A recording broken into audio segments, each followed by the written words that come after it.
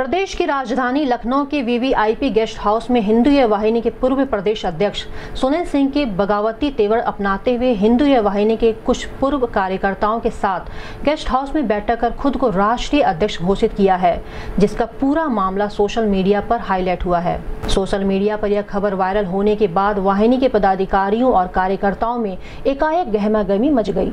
खबर की पुष्टि के लिए जब गोरखपुर न्यूज़ के संवाददाता ने हिंदू वाहिनी के प्रदेश महामंत्री पी के मन से बात की तो उन्होंने कहा कि सुनील सिंह वाहिनी के राष्ट्रीय अध्यक्ष नहीं है, क्योंकि वाहिनी के मुखिया और प्रदेश के सीएम योगी आदित्यनाथ पिछले विधानसभा चुनाव के दौरान ही सुनील सिंह को वाहिनी से बाहर का रास्ता दिखा चुके हैं। उन्होंने कहा कि जो भी लोग हिंदू वाहिनी की छवि को खराब करने का काम कर रहे हैं, वाहिनी की तरफ़ से उनके खिलाफ कानूनी कार्रवाई की जाएगी।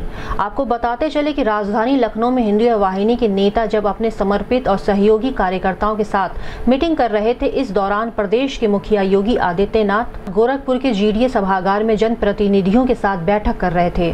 बैठक कर सीएम योगी गोरखपुर से करीब दो बजे लखनऊ के लिए रवाना हुए थे। सूत्रों के अनुसार वीवीआईपी गेस्ट हाउस में हिंदू वाहिनी की बैठक हुई थी। इस बैठक के लिए जिस अधिकारी ने इजाज़त दी थी, उन्हें मुख्यमंत्री के निर्देश पर निलंबित कर दिया गया है। दरअसल इस घटनाक्रम के पीछे विधानसभा चुनाव 2017 मूल वजह है। सुनील सिंह चुनाव में हिंदू वाहिनी के कई पदाधिकारियों ने बगावती तेवर तो अपनाए थे। बीते रविवार को सुनील सिंह ने एक बैठक कर खुद को राष्ट्रीय अध्यक्ष घोषित करने के बाद एकाएक प्याले में तूफ़ान लाने की कोशिश किया है, जिसकी भी हवा निकल गई।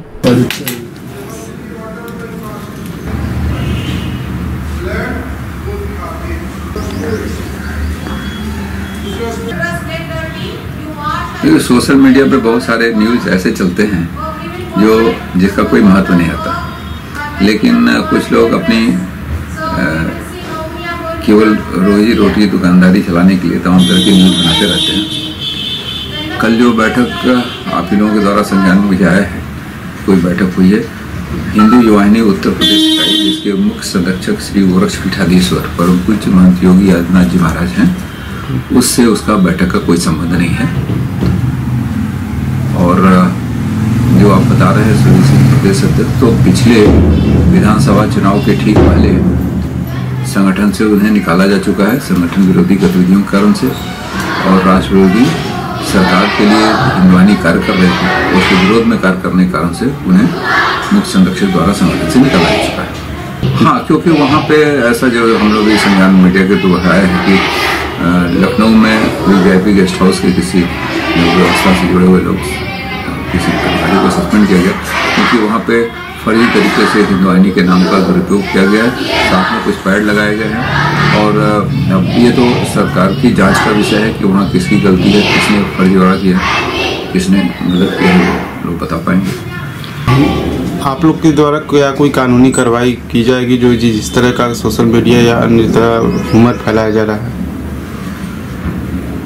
हिंदू युवाहिनी चूँकि पूज्य महाराज जी हमारे मुख्य संरक्षक हैं और चूँकि हिंदुआनी का एक अच्छा नाम है, बहुत सारे कार्यकर्ता इससे जुड़े हुए हैं तो इसके मिलते जुलते नाम में बहुत सारे लोग फर्जीवाड़ा करने की भी कोशिश कर रहे हैं। जैसे हिंदुवानी के साथ में युवा हिंदू वाहिनी राष्ट्रवादी युवा वाहिनी, और तमाम योगी सेना इस तरह से नाम रख के बहुत सारी चीज़ लोग हिंदुआनी के नाम पे धोखा देने की कोशिश कर रहे हैं। उनका कहना है कि हमारा अलग संगठन है। ऐसे लोगों के लिए हम लोगों ने अपने कार्यकर्ताओं को जागरूक किया है। कुछ जगहों पे जो हिंदुआनी के नाम पे दूसरे राज्यों में संगठन खड़ा करने की कोशिश कर रहे थे, जबकि हिंदुआनी का केवल उत्तर प्रदेश में इकाई ही हमारा ये गठित है और अन्य राज्यों में लोग सोशल मीडिया के माध्यम से जुड़े हैं। तो अन्य राज्यों के लिए हम लोगों ने मध्य प्रदेश के चीफ सेक्रेटरी और शिवपुरी के जिलाधिकारी को भी लिखा वहाँ पर कुछ लोग इस तरह से बैठक कर रहे थे हम लोगों को पता चला था। तो उनके खिलाफ समय समय पर हम लोग कार्रवाई करते हैं और उसमें हम लोग अभी चूँकि हमारे प्रदेश प्रभारी लखनऊ में हैं हम लोग पूरी घटना का संज्ञान उनके लेके बैठेंगे और जो भी गलत किया होगा उसके खिलाफ कार्रवाई होगी।